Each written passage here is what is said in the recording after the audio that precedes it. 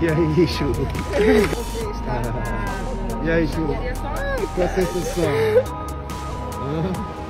sei lá, de tudo, uma mistura de, sei, felicidade com dever cumprido comigo, com pessoas que eu gosto.